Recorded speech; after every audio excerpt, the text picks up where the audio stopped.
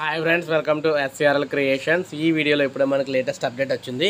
So Telangana ప్రజలందరికీ కూడా హెచ్చరిక అయితే జారీ చేయడం జరిగిందనమాట నాలుగు రోజుల పాటు అందరికి కూడా హెచ్చరిక దానికి సంబంధించి పూర్తి వివరాలు మీకు ఎక్స్ప్లెయిన్ చేస్తాను ఈ టాపిక్లో తో వడగాలులు వాతావరణ శాఖ హెచ్చరిక పగలు నలభై ఐదు పాయింట్ నాలుగు డిగ్రీలు రాత్రి ముప్పై ఐదు పాయింట్ రెండు డిగ్రీలు. సో ఉష్ణోగ్రతలు పెరగడంతో కొన్ని ప్రాంతాల్లో అధిక వేడితో వడగాలు వీస్తున్నాయని వాతావరణ శాఖ ప్రతి తెలిపింది.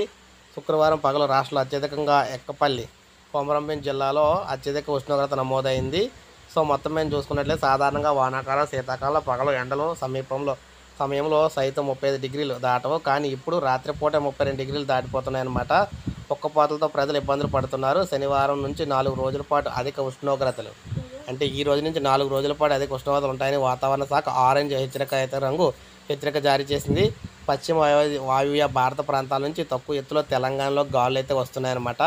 వీటి ప్రభావంతో కొన్ని ప్రాంతాల్లో ఎండలు అక్కడక్కడ ఒక మోస్తరు వర్షాలు కురిసే అవకాశం ఉందని చెప్తున్నారు. సో మొత్తం తెలంగాణ ప్రజలందరూ కూడా నాలుగు రోజుల పాటు ఈ ఎండలు అయితే భరించాలి తప్పదు. అందువల్ల మధ్యాహ్నం పూట ఎవరు బయటికి రావద్దని చెప్పేసి క్లియర్గా తెలియజేయడం జరిగిందనమాట ఆరెంజ్ హెచ్చరిక అయితే జారీ చేశారు తెలంగాణ ప్రజలకు. సో ఇది ఫ్రెండ్స్ ఈ వీడియో. ఇది నచ్చితే లైక్ చేయండి సబ్స్క్రైబ్ చేసుకోకపోతే మన ఛానల్ సబ్స్క్రైబ్ చేసుకోండి